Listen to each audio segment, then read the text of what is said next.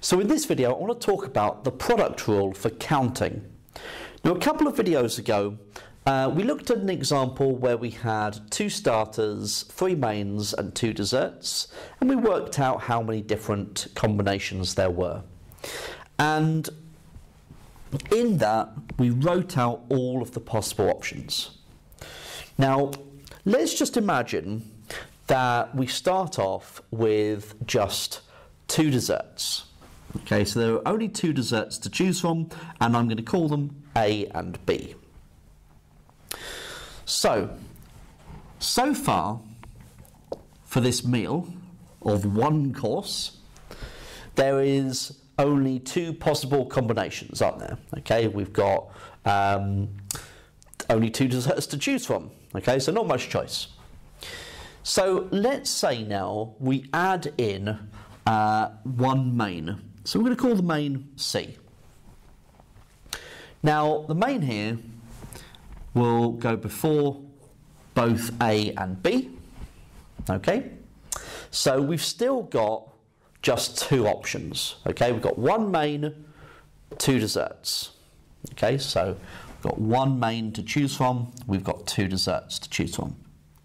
Okay, and 1 times 2 is 2, of course. So let's say we had another main. Let's call it D. Now, we've got C then A and C then B, so then we could have D then A and D then B. Okay? So now we've got two mains and two desserts.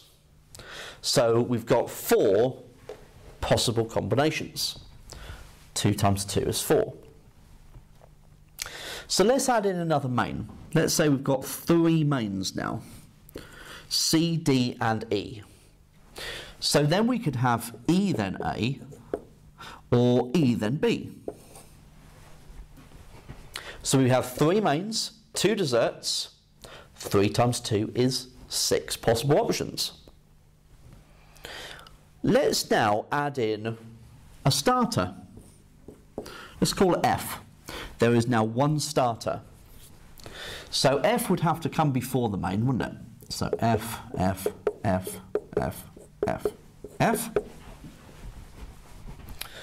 And of course, we would still just have six options here. 1 times 3 times 2. Okay? But if we add in another starter, let's call it G, we now have two starters. So we would have G, then C, then A, G, then C, then B, G, then D, then A, G, then D, then B, G, then E, then A, G, then E, then B. So we would now have 12 possible options here. 2 times 3 times 2 is 12. Okay, so what you're seeing is that it is the products of the possible choices that we have. Okay, and so that's quite a neat way of being able to check that you've got all of the possible variations that you have. Now we could trade this up to uh, different scenarios as well.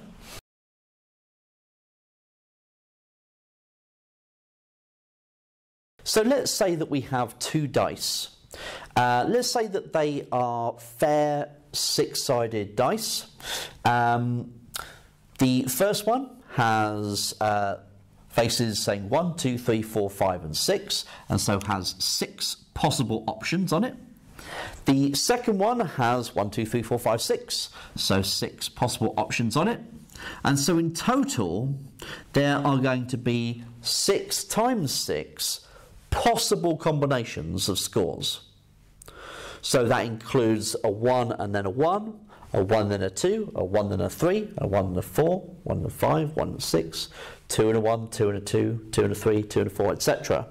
And so there are 36 possible options altogether. Okay? And if I had three die, or three dice, then it would be 6 times 6 times 6. So, don't know that one off the top of my head. So 6 times 6 times 6 is 216. So there'll be 216 possible options there. Okay? So this way of being able to multiply your way through um, is uh, not only an excellent way of checking this product rule of counting, um, but is also your way to answer more complicated problems.